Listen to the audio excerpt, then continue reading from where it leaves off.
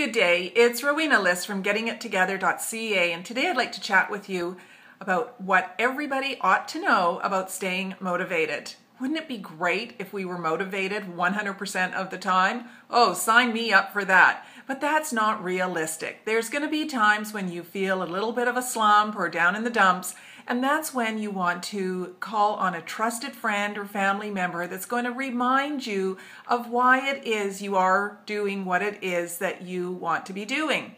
They might be encouraging you to reach a goal or to stretch a little bit further. And who knows, maybe you'll be one of those people that somebody calls on and says, Hey, can you give me a little pep talk today? I'm just feeling a little bit down in the dumps. You want to visualize what it is that you want to achieve, your end result. That will help in staying motivated. Also, be very kind to yourself. There's no need with all of that destructive self talk and using words like should and have to. And you want to use empowering words like choose to and want to.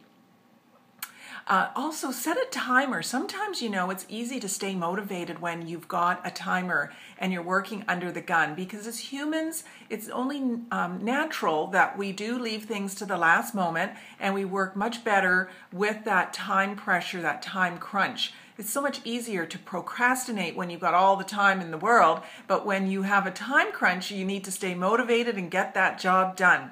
So try these tips along with several others. There's 10 of them altogether. Just read them in the article below and let me know what one really resonates with you so that you're able to stay more motivated and get your goals of staying organized, downsizing, clearing out the clutter, or running a marathon, whatever it might be that is your desire to stay motivated. And leave it in the comment box below because I really look forward to hearing from each and every one of you. Have an awesome day.